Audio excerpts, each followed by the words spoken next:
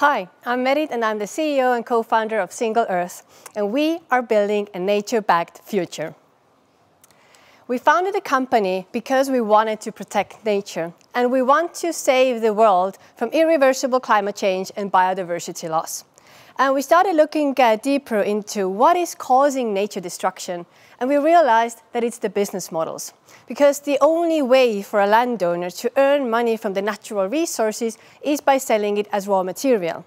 But if we want to incentivize the protection of nature rather than the destruction of it, we need to create alternative business models that incentivize nature protection. And today, we're doing this with almost 80 people in the team. We're backed by Equity Ventures and Icebreaker.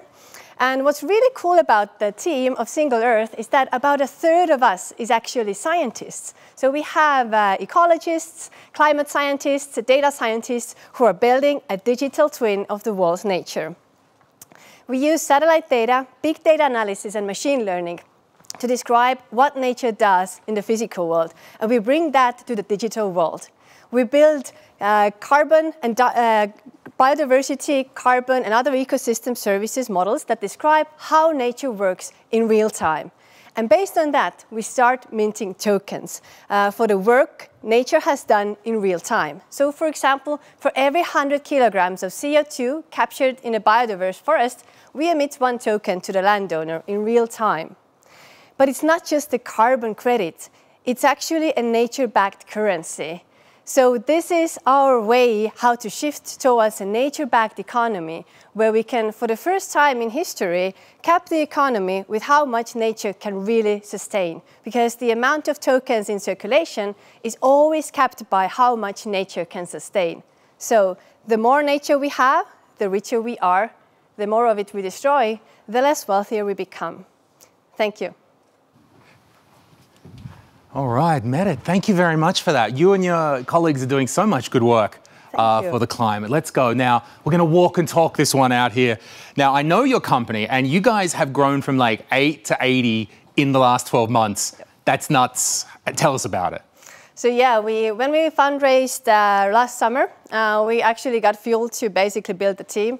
And I think one of the most exciting parts has been building the science team because like when you think of it, it's not it's quite a challenge. Like we mm. didn't think it would be easy to start hiring scientists from universities and convince them to join a startup.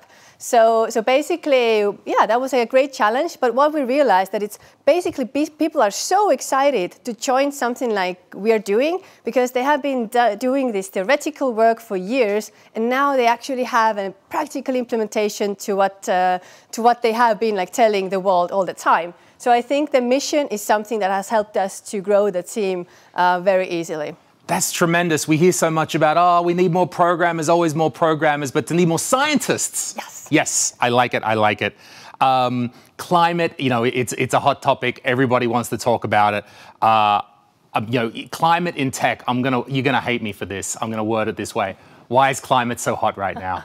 Obviously, because climate is getting hotter and hotter. And we, I think we're running out of time. Like, we need to do something right now. And I think for like entrepreneurs, for startup uh, founders, it's an incredible opportunity to be, to be honest, because I think like startup founders are always looking for, you know, problems to solve.